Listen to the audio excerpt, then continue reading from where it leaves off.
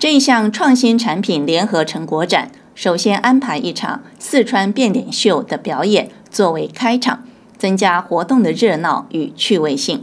南投县内共有十家厂商参展，与会代表副县长陈正生肯定参展厂商的用心，借着成果展。从中获得观摩与学习的机会。我们利用这个机会哈，做一个观摩、比较、学习的机会，也希望让厂家哈能从中获得一些灵感，甚至于脑力激荡、创新新的产品，提升他们产品的品质，也迎合我们社会的整个需求。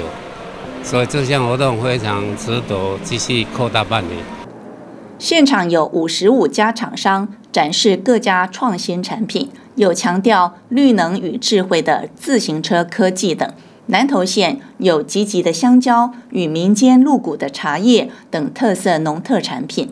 由宏达议员说，这些都是南投县的优势产品。他希望政府部门能帮助业者提升经济产值。龙江四关区有五十几单吼，啊将近五十五单。咱南投县就来推出十个这个啊摊位，尤其展示着咱南投县的在优势的咱的农特产，尤其咱的直接的金蕉，咱民间乐国的这个地米，哦，拢是咱南投县啊非常知名度非常高的咱的出色的啊农特产吼。所以讲，咱直接会通看到咱政府的用心吼，希望讲咱的行政部门来来给带动因的经济效益。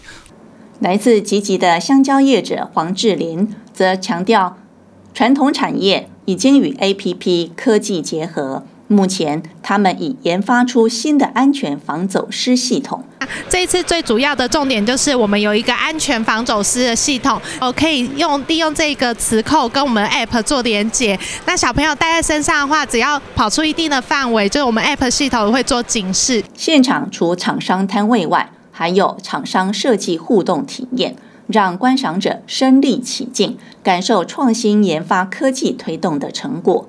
透过这个平台，促进四个县市厂商彼此交流，激发更多跨界合作的可能与梦想。记者王水仙南投采访报道。